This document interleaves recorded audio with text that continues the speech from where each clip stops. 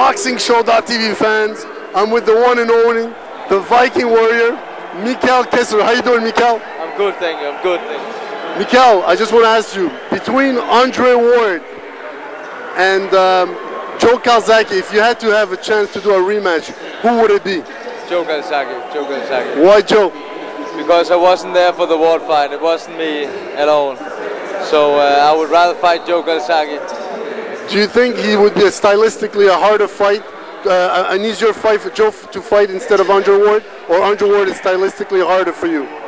No, uh, when I, if I fight or when I will fight uh, Andrew Ward again, I would definitely beat him. I would be another fighter, I, and then I know what to do, and uh, I would be uh, covered up.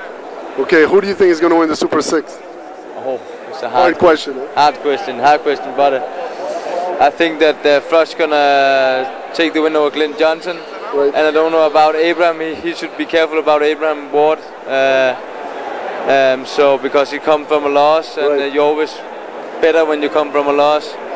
The mo- most of the good fighters are, and uh, but maybe we, we will see Ward and uh, and uh, yeah, I don't know. I can't say it. You don't, want, you don't want to put your, you don't want to put the prediction.